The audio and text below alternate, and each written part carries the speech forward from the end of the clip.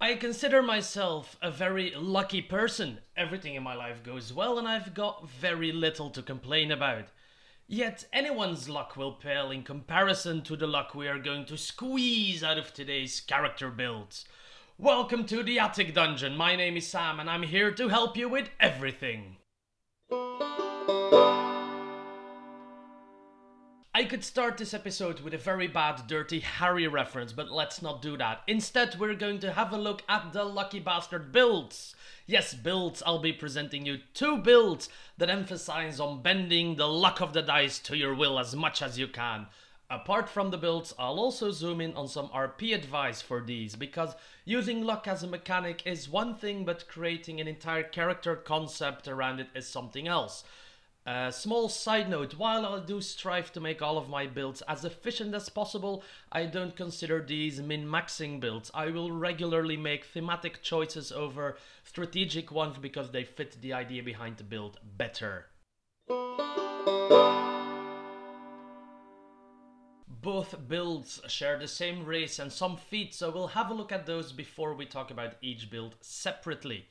As for race, there is only one race that has luck running through its veins, and that is the halfling. These short, lovable creatures are lucky without even putting in any effort thanks to their lucky racial. When you roll a 1 on the d20 for an attack roll, ability check, or saving throw, you can re-roll the die and must use the new roll. Our first dice bending tool. Even if this one only has a 5% chance per roll to come up, it's very nice to have. Since there is no limit to how many times per round this can be used, characters with extra attacks or spells like uh, Scorching Ray that make multiple attack rolls can benefit from this racial all day long. There's also no limit to the amount of dice it can affect in one roll, so if you're rolling with disadvantage or advantage and double ones come up, you can reroll both of these numbers. I almost forgot, but as for subrace, we will be taking the Stout Halfling for two reasons.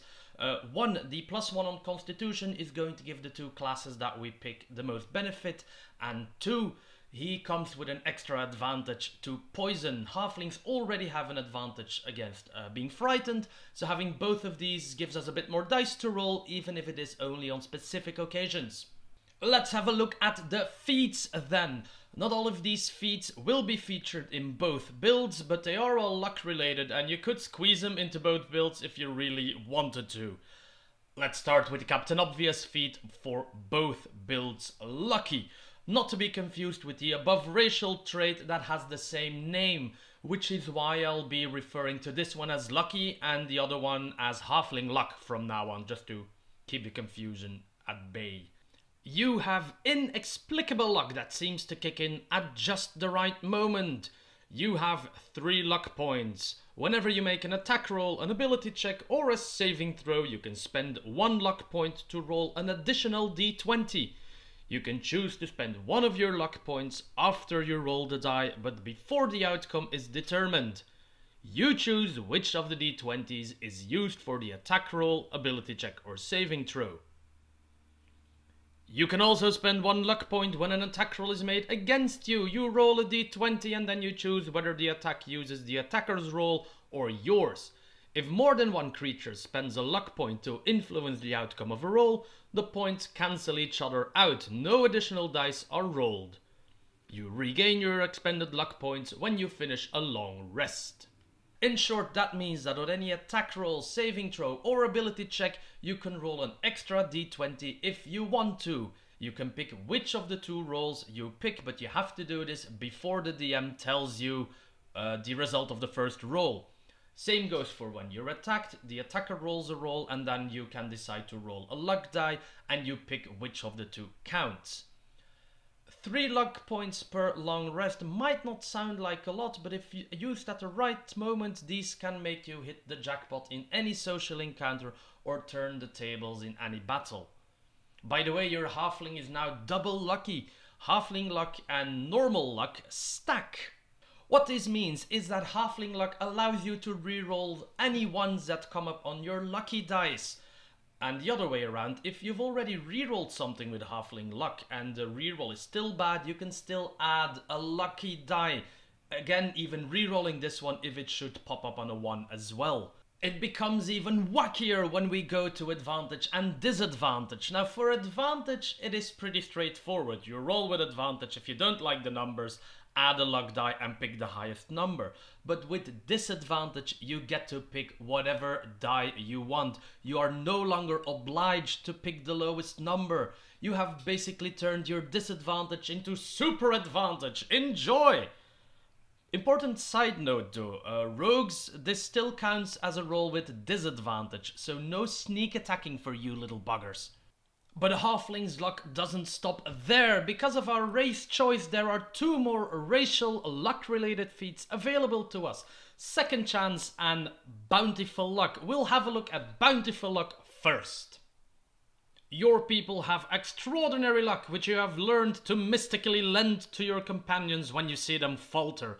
You're not sure how you do it, you just wish it, and it happens, surely a sign of fortune's favor.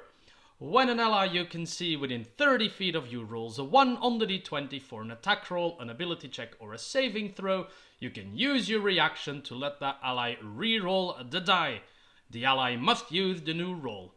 When you use this ability, you can't use your lucky racial trait before the end of your next turn. A feat for true team players! We are now using our luck to manipulate an ally's bad luck, sacrificing our own reaction and the use of our racial for one turn to save their ass as long as they're not too far away.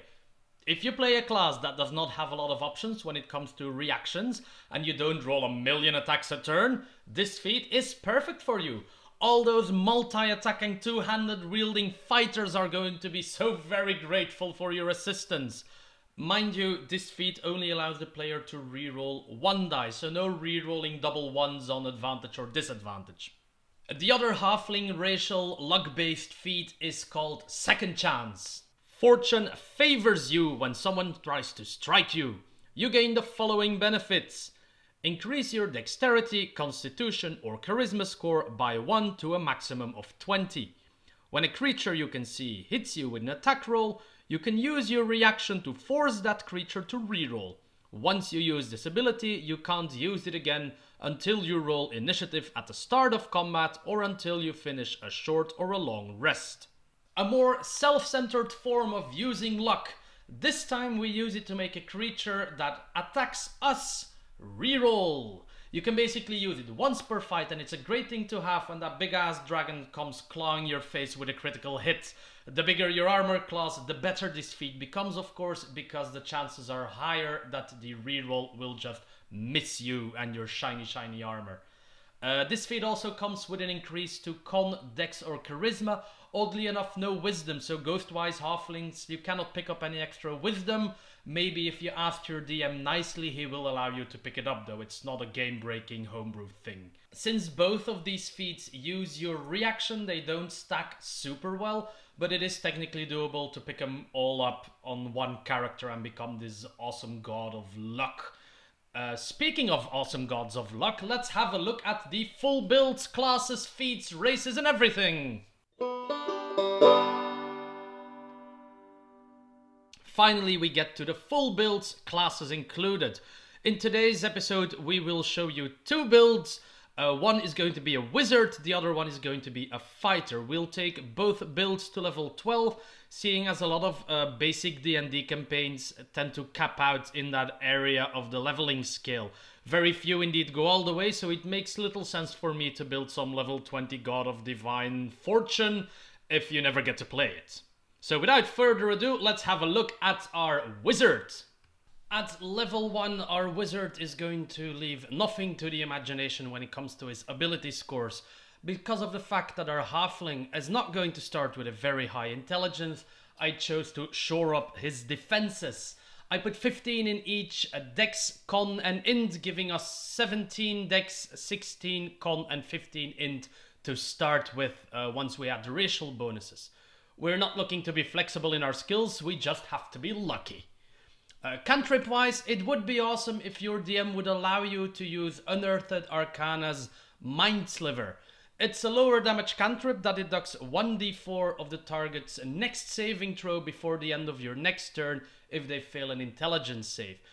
Deals psychic damage, which is always nice, but more importantly, we are manipulating dice rolls again. If your DM does not allow you to pick up Mind Sliver, I would advise you pick up Frostbite. Frostbite is again a lower damage cantrip, uh, this time a d6 frost damage, but if the target fails a constitution save, their next weapon attack has disadvantage. It's less powerful than Mind Sliver in my opinion because a lot of humanoids tend to have multi-attack and you're only imposing disadvantage on the first roll, but it's still a way to influence dice rolls, so that's why we're picking it up. Be sure to pick up light as well. We have no dark vision and being blind is not good. For level 1 spells, a thing could be set for picking up Magic Missile. We don't have the maximum intelligence score at level 1, so Magic Missile is an easy way to make sure that you can contribute some damage now and then. I would suggest to pick up Mage Armor over Shield because we are going to have a very high dexterity score eventually and the extra armor will surely benefit you. Crowd control wise, I would say Color Spray. Color Spray requires no saving throw, so again, at lower levels when we only have a plus 2 on our intelligence modifier, you will still be sure to impose some disadvantage on creatures around you.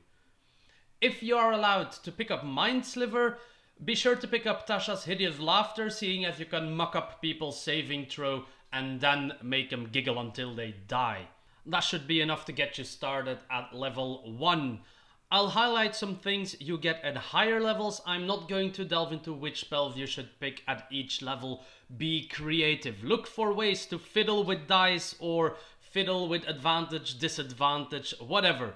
Do pick up some divination spells though, since level 6 uh, grants us an ability that allows us to recover spell slots when we cast divination magic, which is quite important. Level 2, of course, will lead us to the School of Divination because we will need its signature ability, Portent to be a Master of Dice. Starting at second level, when you choose this school, glimpses of the future begin to press in on your awareness. When you finish a long rest, roll 2 d20s and record the numbers rolled. You can replace any attack roll, saving throw, or ability check made by you or a creature that you can see with one of these foretelling rolls. You must choose to do so before the roll and you can replace a roll in this way only once per turn. Each foretelling can be used only once. When you finish a long rest, you lose any unused foretelling rolls. So now you can rig two extremely important rolls per day before they even happen. Lower rolls that you store can be used to make enemies miss with spells or have them completely fill their saves. Higher rolls are of course used to boost your own chances of success. If you roll a crit, give it to your rogue and watch him be oh so happy when he can roll his sneak attack damage twice. If you manage to take this build all the way up to level 14, you will gain an additional use of Portent, bringing it up to 3 happy times. Level 4 brings us our first ability score increase. If you feel like the 15 intelligence is dragging you down too much, put one point in int and put the other one in dex to round that up to 18, which is going to improve your defenses and your initiative. If you have the guts to sit this one out, however, until level 8, pick up Lucky at level 4 already and start manipulating your dice. At level 8, you'll pick up whatever you didn't pick up at level 4. At level 10, we gain Third Eye. The ability might seem a bit gimmicky and trivial at first, but remember that almost all of our luck abilities are based on actually being able to see something. So having dark vision, which will be the standard choice, ethereal vision or the ability to see invisible creatures could be very vital at some point. So pick your correct option at the start of the day if you know what is coming. At level 12, this wizard will pick up Bountiful Luck. It is time to start helping our allies fail less at everything. This still leaves you with enough ability score increases to max out intelligence should you desire so, or you could pick up second chance to go for the full luck build. So this build has a bit of a slow start when it comes to ability scores, but with the right spell choices this wizard will be a master manipulator of everything dice related. This doesn't mean that you should be afraid to blow up something now and then. Don't hesitate to pick up Lightning Bolt or Fireball at level 5. You're a wizard, have your fun. Let's have a look at our fighter build then. Why did I pick the fighter? Two reasons. Halfling luck becomes more and more valuable the more d20s you roll, and nobody rolls as many d20s as that fighter who just blew his action surge and wants to beat the boss to a pulp. Second reason, the fighter gets two extra options for ability score increases or feats, so this allows us to really balance out our stats as well as picking up all the necessary feats to be a lock monster at relatively low level. Because we're a halfling, we will be making a dexterity fighter of course, so we'll start by putting a 15 in both dexterity and constitution respectively, those will become 17 and 16. Uh, why 17 index? Well, we will pick up second chance and I will bump that up to 18, so that's perfect. Our fighter archetype is going to be the samurai, mainly because of his fighting spirit feature. Starting at third level, your intensity in battle can shield you and help you strike true. As a bonus action on your turn, you can give yourself advantage on weapon attack rolls until the end of the current turn. When you do so, you also gain 5 temporary hit points. The number of temporary hit points increases when you reach certain levels in this class, increasing to 10 at 10th level and 15 at 15th level. You can use this feature 3 times and you regain all expended uses of it when you finish a long rest. Uh, you're a fighter, you're going to have quite a few attacks as you level up. Action Surge will allow you to double this uh, once per short rest, and Fighting Surge allows you to take a full turn with advantage on your attacks three times per long rest. So imagine being a level 11 fighter who has three attacks per turn. You pop your Action Surge to make that six, and then you pop Fighting Spirits to have six attacks with advantage. If you roll any ones, you re-roll them because you're a halfling. If some of the rolls are still very, very bad, you can use the lucky feat to increase the numbers again. You're going to have some happy, happy slashy times. At level 4, pick up either lucky or second chance. It's your choice if you want the extra dexterity sooner or later and then at level 6 pick up the other one. At level 8 our goal is to pick up a bountiful luck and that means that by level 8 we will have all of our luck features online ready to go and mess with everyone's dice. Starting at level 10, uh, you get a use of Fighting Spirit back at the start of combat if you don't have any left, so that's nice to have as well. And higher level Samurai allow you to swap out advantage to add even more attacks, which is nice to have as well. I mean, it's not more dice, but it works out. That leaves you with more than enough ability score increases to flavor your fighter the way you see fit. You can max out his scores, you can pick up some other feats, just enjoy. It is one of the great things about being a fighter. The characters are super, super customizable.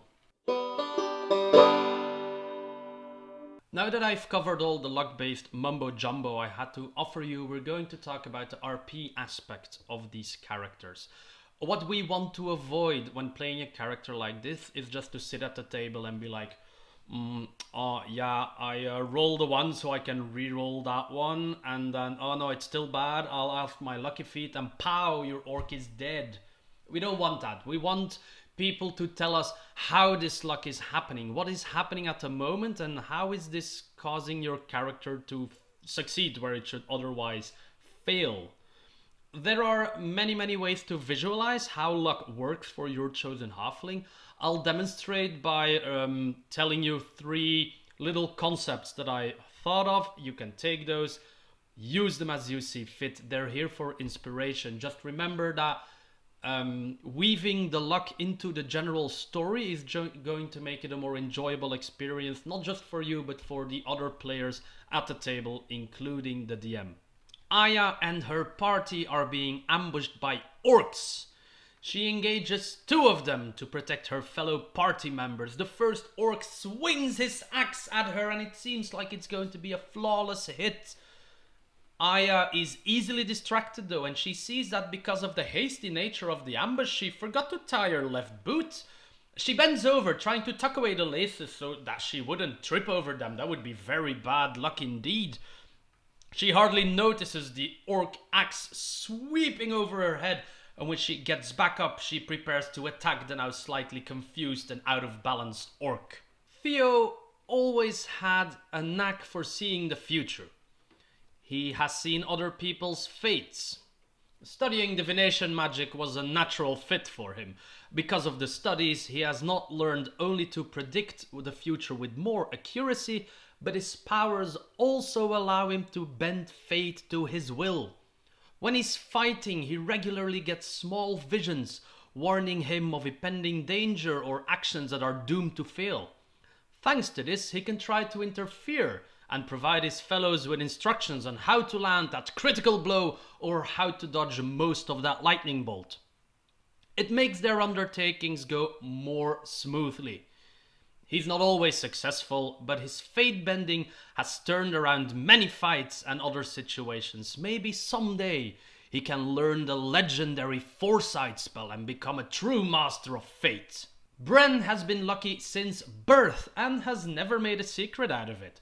In fact, Bren knows so damn well things will turn out as they should that they regularly don't even undertake actions to avoid danger. They just rely on pure luck to make sure that their undertakings succeed. Arrows have whizzed by this halfling without them flinching, trusting their lucky stars that they will be fine. Sure, on occasion a few cuts and bruises are obtained, but all in all, Bren believes there is little reason to steer another course as long as luck is on their side. These were three very simple examples on how to RP a very lucky character. Dumb luck, fate bending, and pure arrogance.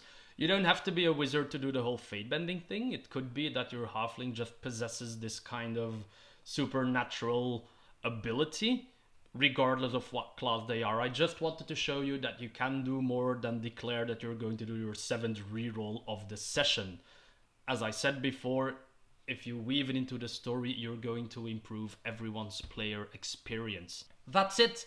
That's all I have to show you for these lucky bastard builds. And just like how I didn't start with a bad Dirty Harry reference, I will not end with a bad Hunger Game reference. Don't hesitate to leave a comment. Tell me whether you like these builds or not, how you would play them and maybe which alterations you would make to them. And kindly subscribe and then you will see whatever idea sprouts out of my head next time when we enter the attic dungeon.